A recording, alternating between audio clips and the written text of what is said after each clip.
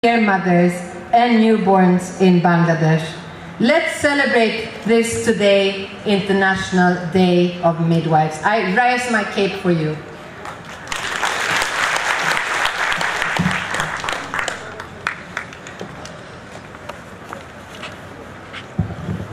Thank you, madam, for your encourageable and influential speech. Now, I would like to request our, on behalf of the guest of honor, uh, sorry, on behalf of the representative from WHO Bangladesh, the, I would like to request A. Tanji Miju to deliver her speech.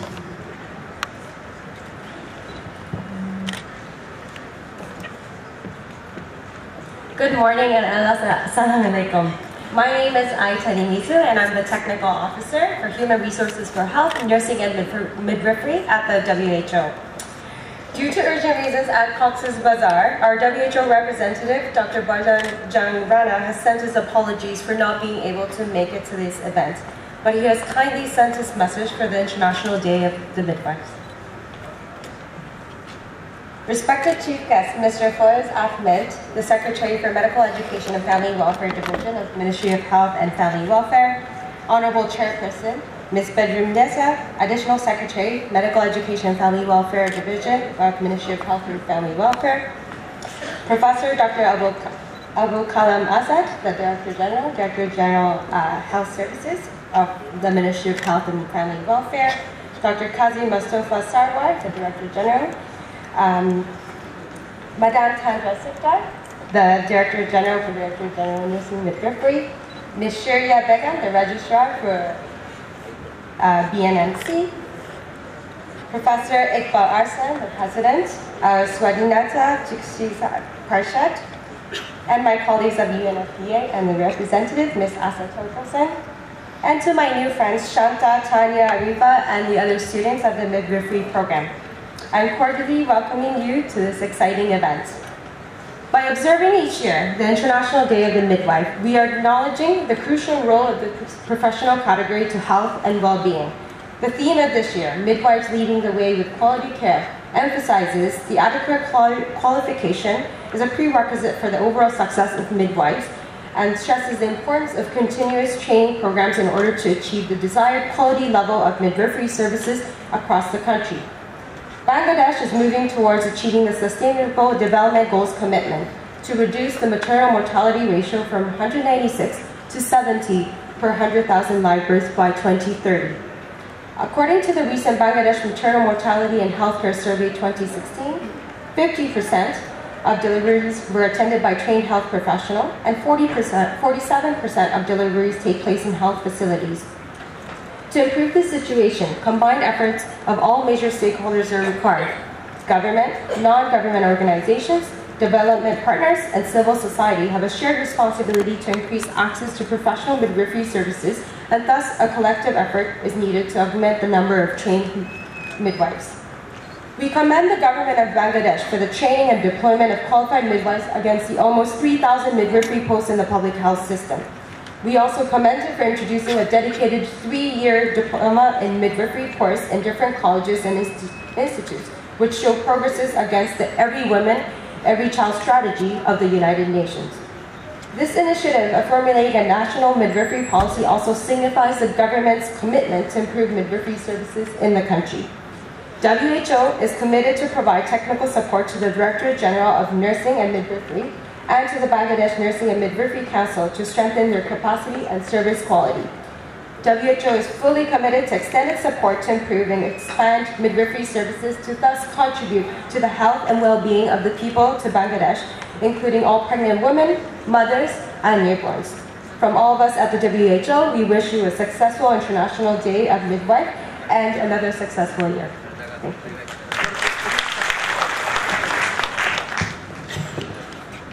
Thank you, madam. I would like to request our special guest, Professor Dr. Abul Kalam Azad, Director General, Director General of Health Services, to deliver his speech. Sir Abul Kalam Azad জাতিক meet অনুষ্ঠানের সম্মানিত সভাপতি বেগম বদিউল নেসা অতিরিক্ত সচিব স্বাস্থ্য শিক্ষা এবং পরিবার কল্যাণ বিভাগ, স্বাস্থ্য পরিবার কল্যাণ মন্ত্রণালয়। সম্মানিত প্রধান অতিথি, জনাব ফয়েজ আহমেদ। সম্মানিত সচিব, স্বাস্থ্য, শিক্ষা ও পরিবার কল্যাণ বিভাগ, স্বাস্থ্য পরিবার কল্যাণ মন্ত্রণালয়। আমাদের সামনে, আমাদের সাথে মঞ্চ উপস্থিত বেগম তন্দ্রা শিকদার, মহাপরিচালক নার্সিং ও মিড ওয়াইফারি অধিদপ্তর, Suraiya Begum registrar Bangladesh nursing O midwifery council, guest of honour doctor Asad আলকালসান the UNFPA representative in Bangladesh Ms. I. Thani Miju, representing Dr. Bardhan Jangrana, the WHO representative in Bangladesh. বিশিষ্ট ব্যক্তিবর্গ OGSP president UNFPA প্রতিনিধিবৃন্দ of Bangladesh save the children অন্যান্য দাদা সংস্থার প্রতিনিধিবৃন্দ NGO প্রতিনিধিবৃন্দ, আমার actually nurse ভাই বোনেরা এবং মিড ওয়াইফ বোনেরা বাংলাদেশের। আমার মনে হয় যে এই কনফারেন্স রুমের ভিতরে দৃশ্যটা খুবই চমৎকার। একটা পিঙ্ক পিঙ্ক একটা ভাব। ইন্ডিয়াতে এই ধরনের একটা সিটি আছে পিঙ্ক সিটি সমস্ত বিল্ডিংয়ের রং হলো এরকম গোলাপি রঙের হয় এবং দেখতে খুব ভালো লাগে। আসলে গোলাপকে আমরা ভালোবাসি, গোলাপের সুবাসকে ভালোবাসি এবং আজকে যে যে ড্রেসে এবং আমরাও এই ড্রেস পরেছি, তাতে আসলে একটা খুব একটা সৌম্য ভাব ফুটে উঠেছে এই কনফারেন্স রুমের মধ্যে। তো এই দিবসটির প্রতিপাদ্য হলো midwives leading the way with quality care আমাদের একজন বাঙালি, উনি হলো মার্কিন যুক্তরাষ্ট্রে আছেন, ওনার নাম হলো সুবীর চৌধুরী। এবং খুব নাম করা লেখক, ওনার বই, যদিও তিনি বাঙালি গত কয়েক বছর ধরে হলো বেস্ট সেলার হচ্ছে।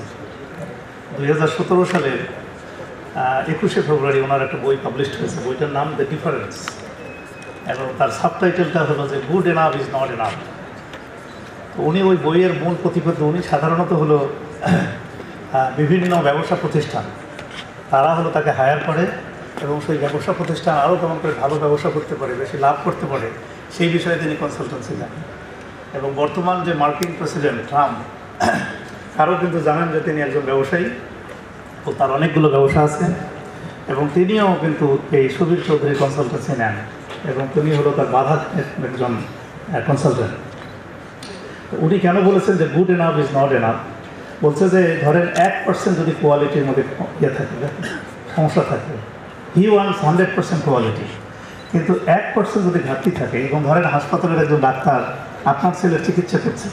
এবং এই এক পার্সেন্ট কোয়ালিটি ঘাটতির কারণে আপনার ছেলের যদি মৃত্যু ঘটে, তাহলে আপনি কেমন করে নেবেন? তো সেই জন্যই বলেছেন যে আমরা অনেক সময় মনে করি যে, ও গুড এনাফ এটা হলেই আমরা সন্তুষ্ট। তিনি বলেছেন good enough is not enough কাজে আজকে যে মূল প্রতিপাদ্য করেছে যে midwifery the leading the way of with quality care আমার মনে হয় যে এই বিষয়টার গুরুত্ব যদি আমরা অনুধাবন করি, তাহলে প্রত্যেকটা পদক্ষেপে আমাদেরকে মনে করতে হবে যে কোয়ালিটির সর্বোচ্চ পর্যায়ের সীমায় যেন আমরা হলো আসলে সেবাটা দেই, তা না হলে কিন্তু সামান্য বিচ্যুতিত মানুষের জীবনের অনেক ক্ষতি হতে পারে। আমি হলো আসলে মিড ওয়াইফারি সম্পর্কে একটু জানার চেষ্টা করতেছিলাম যে পৃথিবীতে মিড ওয়াইফারি কত আগে হলো শুরু হলো। আমি দেখলাম যে প্রায় তিনশো বছরের আগে আপনার সুইডেনে মিড ওয়াইফারি চালু হয়েছে। তখনকার যে সুইডেনের রানী, তখন হলো রাজ- রাজতন্ত্র ছিল সুইডেনে। তিনি দেখলেন যে এই মা হলো সন্তান জন্ম দিতে গিয়ে এবং সেই সন্তান নবজাতক হলো যে সামান্য কারণে মৃত্যুবরণ করে। এবং তিনি হলো কেমন করে এই মৃত্যুর হাত থেকে মা এবং তার নবজাতক সন্তানকে বাঁচানো যায়, সেই জন্য হলো যে পথ খুঁজে বের করার চেষ্টা করলেন এবং তিনি দেখলেন যে মিড ওয়াইফ নামে হলো এই ধরনের একটা প্রফেশন আছে। এবং তিনি তৎকালীন সুইডেনের একজন সবচেয়ে ভালো ডাক্তার এবং যে ডাক্তার হলো মানবিক গুণ সম্পন্ন বটে। মানে শুধু ভালো ডাক্তার হলে হবে না, যার মানবিক গুণ আছে, সেই ধরনের একজন ডাক্তারকে দায়িত্ব দিলেন যে তুমি বাংলা এই সুইডেনে এই ধরনের একটা কোর্স চালু করো। খেয়াল করে দেখেন যে দুই তিনশো বছর আগে সুইডেনে যে কোর্সটা চালু হয়েছে এবং আমাদের বাংলাদেশে আমরা সিদ্ধান্ত নিলাম দুই হাজার দশ সালে এবং মাননীয় প্রধানমন্ত্রী শেখ হাসিনা জাতিসংঘে দুই হাজার দশ সালে প্রতিশ্রুতি দিলেন যে আমরা বাংলাদেশে মিডওয়াইফ বানাবো। এখন আমরা অবশ্যই মাননীয় প্রধানমন্ত্রী শেখ হাসিনাকে এর জন্য ধন্যবাদ জানাই, তার প্রতি কৃতজ্ঞতা জানাই। যে বাংলাদেশে এই ধরনের একটি অতি প্রয়োজনীয় কোর্স কোনো চালু হয়েছে। কিন্তু খেয়াল করে দেখেন যে তিনশো বছর পরে আমরা এই সিদ্ধান্তটা নিলাম। এটা হলো বাংলাদেশ ওই ক্ষেত্রে কত পিছিয়ে আছে। পৃথিবীর সমস্ত উন্নত দেশে মিডওয়াইফ কোর্স আছে। সমস্ত দেশে।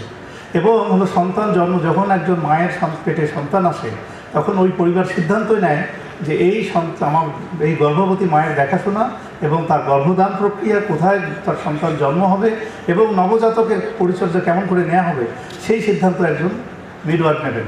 কিন্তু আমাদের বাংলাদেশে আমরা যেটা দেখেছি, সেটা আসলে আমরা সম্পদের অপচয় করেছি। আমরা হলো দেখা গেছে যে যাদের টাকা পয়সা আছে অথবা যারা একটা শিক্ষিত, তাদের মায়ের যত্ন নেওয়া এবং তার সন্তানের জন্মদান এই সমস্ত ক্ষেত্রে একজন স্পেশালিস্ট অথবা একজন এমবিবিএস ডাক্তারের স্বর্ণাপন্ন হয়েছে তাকে দায়িত্ব দিয়েছে। অথচ একজন মিডওয়াইফ কিন্তু এই কাজটা করতে পারে। যাই হোক, এখন দুই হাজার দশ সালে জাতিসংঘে যখন প্রথম global strategy for women's and children's health প্রথম হলো এটা পাশ করা হলো, তারপর থেকে সারা পৃথিবীতে আসলে মিডওয়াইফ যে খুব একটা দরকারি প্রফেশন এবং পৃথিবীর প্রত্যেকটা দেশে সে ধনী দেশ হোক অথবা গরিব দেশ হোক, সেই সমস্ত দেশে যে মিডওয়াইফ পেশাকে প্রবর্তন করা দরকার, সেই বিষয়ে আসলে একটা নতুন জাগরণ তৈরি হয়েছে। এবং আমরা এখন দেখি যে উন্নত দেশগুলোতে কত মিডওয়াইফ আছে, সেই হিসাব কিন্তু বিশ্বের যে আন্তর্জাতিক রিপোর্টগুলো সেই রিপোর্টে প্রকাশ হয় না। প্রকাশ হয় যে উন্নয়নশীল দেশ অথবা গরিব দেশগুলোতে মিডওয়াইফ কোর্স আছে কিনা এবং মিডওয়াইফের সংখ্যা কত, সেই বিষয়গুলো আসলে ওখানে দেওয়া হয়। আমি দেখছি যে বাংলাদেশে আমরা ইতিমধ্যে প্রায় তিন হাজারের মতো মিডওয়াইফ তৈরি করেছি। একটু আগে প্রফেসর ইকবাল হাসান তার বক্তৃতায় বললেন, বাংলাদেশে ডাক্তারের সংখ্যা এবং নার্সের সংখ্যার অনুপাতের মধ্যে বিরাট ব্যবধান। ডাক্তার অনেক বেশি, এটা আগে ছিল। এখন কিন্তু এই অবস্থা নাই।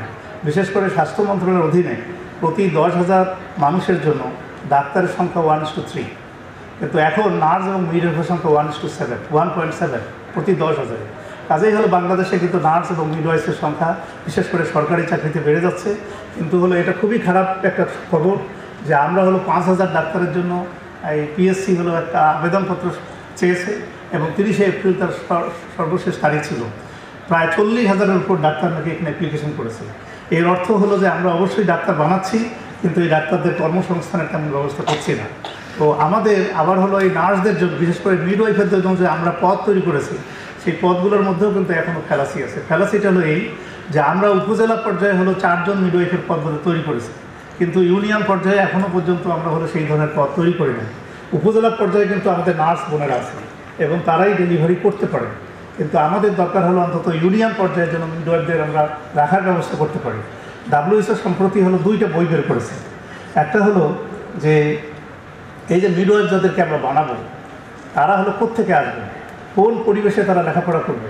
এবং তাদের দেখা যাচ্ছে যে তাদের যখন সিলেকশন করব, তারা যখন হলো রুরাল ব্যাকগ্রাউন্ড থেকে আসে। এবং তাদেরকে যে পরিবেশে লেখাপড়া করানো হবে, সেই পরিবেশটাও যেন রুরাল হয়। এবং একই সাথে তাদের যে আপনার ইন্টার্নশিপ অথবা হলো তাদের কোর্সের যে প্র্যাকটিক্যাল অংশগুলো, সেগুলো যেন রুরাল পরিবেশে হয়। এই কারণে হয় যে তারা যেন হলো গ্রামাঞ্চলে মানুষের কমিউনিটি পর্যায়ে হলো কাজ করতে আগ্রহী হয়। আমাদের বাংলাদেশে যখন আমরা এই কোর্সটা পরি, প্রবর্তন করেছি এবং কোর্সগুলো চালাচ্ছি, তখন আমাদেরকে আর এই জিনিসটাও মনে রাখতে হবে। দ্বিতীয়ত আরেকটা গাইডলাইন ডাব্লিউএসএ প্রকাশ করেছে, দুই হাজার আঠারো সালের ফেব্রুয়ারি মাসেই করেছে।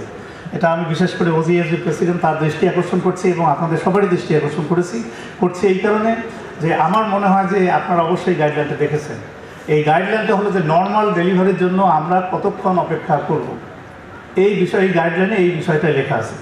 বলা হচ্ছে যে প্রথমবার যখন ডেলিভারি হবে, অর্থাৎ প্রথম বাচ্চার ক্ষেত্রে সর্বাধিক হলো বারো ঘণ্টার মধ্যে হলো ডেলিভারি হয়ে যাওয়ার কথা। বারো ঘণ্টা পর্যন্ত আমাদেরকে ধৈর্য ধরে অপেক্ষা করতে হবে। তারপরে যদি না হয়, এবং দেখা যায় যে বাচ্চার যদি অবস্থা খারাপ হয় অথবা মায়ের অবস্থা যদি খারাপ হয়, এই অবস্থা যদি না ঘটে, তাহলে আমরা বারো ঘণ্টা পর্যন্ত অপেক্ষা করব। সাবসেকুয়েন্ট যে ডেলিভারি সেই ক্ষেত্রে দশ ঘণ্টার মধ্যে ডেলিভারি হয়ে যাওয়ার কথা। এই যে পার্টোগ্রাফ নিয়ে যে কথা বলা হচ্ছে, এই পার্টোগ্রাফেরও কিন্তু নতুন গাইডলাইন তৈরি হয়েছে। এবং পার্টোগ্রাফটাকে যেন অত সিরিয়াসলি আমরা না দেখি, কেমন করে ফিটাল ডিস্টেন্স দেখতে হবে, কেমন করে সার্ভাইকাল যে ডাইলেটেশন দেখতে হবে, সেই নতুন গাইডলাইনে কিন্তু এই বিষয়টা আছে। আরও একটা বিষয়, দুইটা বিষয় এখানে এখন বলা আছে যে আমরা খুব দেখা যায় যে অনেক কারণে প্রথমেই হলো অক্সিটোসিন ইনফিউশন দিয়ে থাকি ডিউরিং দ্য ডেলিভারি বিকজ আমরা মনে করি যে ডেলিভারি প্রোগ্রেস হচ্ছে না। দ্বিতীয়ত আমরা হলো সিজারিয়ান সেকশন করি, যে বিষয়ে হলো বাংলাদেশে যথেষ্ট অভিযোগ আছে। এই বিষয়গুলোর ব্যাপারে ওই গাইডলাইনটাতে লেখা আছে, যেটা দুই হাজার আঠারো সালে, অর্থাৎ এই বছরের ফেব্রুয়ারি মাসে বিশ্ব স্বাস্থ্য সংস্থা পাবলিশ করেছে। আমি মনে করি যে মিডওয়াইফারি কোর্সে নার্সিং কোর্সে এবং ওজিএসবি যারা এই কাজের জন্য যুক্ত, তারা যেন এই গাইডলাইনটা দেখেন এবং তারা যেন অনুসরণ করেন। আর দ্বিতীয় যে গাইডলাইনটার কথা বললাম, যে মিডওয়াইফ কারা হবে, কোত্থেকে আসবে, কেমন করে তাদের লেখাপড়া হবে, আমরা যেন কোর্স কারিকুলাম অর্থাৎ কোর্স দেওয়ার সময় এই বিষয়টা মনে রাখি। সবশেষে আমি মাননীয় প্রধানমন্ত্রী শেখ হাসিনার কাছে কৃতজ্ঞতা প্রকাশের পাশাপাশি আমি হলো ইউএনএফপিএকে বিশেষ করে ধন্যবাদ জানাব, কারণ বাংলাদেশে এবং সারা পৃথিবীতে এই নতুন করে মিড ওয়াইফারির যে জয়গান শুরু হয়েছে, সেটা ইউএনএফপি এর মাধ্যমে হয়েছে। এবং ইউএনএফপি এর সাহায্যার্থেই বাংলাদেশে এই কোর্সটা চালু হয়েছে। আমাদের সকল অংশীদার যারা সরকারকে হলো এই বিষয়ে সাহায্য করছে, তাদের প্রতি কৃতজ্ঞতা জানাই এবং আমি মনে করি মিড ওয়াইফ বোনেরা যারা এখানে বসে আছেন, আপনাদের গোলাপি ড্রেস এবং যে কারণে হলো আপনাদের সৃষ্টি করা হয়েছে, সেই কারণ যেন বাংলাদেশে বাস্তবায়িত হয়।